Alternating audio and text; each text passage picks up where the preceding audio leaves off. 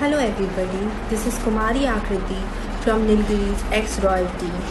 This is my earnest appeal to Orissa's Chief Minister, Mr. Naveen Patnaik, to pay his undivided attention to the Similipal fire, which is now spread to my village Nilgiri's wildlife sanctuary that is Kuldiha. I am very distressed about the fact that jungle fire is playing a havoc with Orissa's wildlife flora and fauna.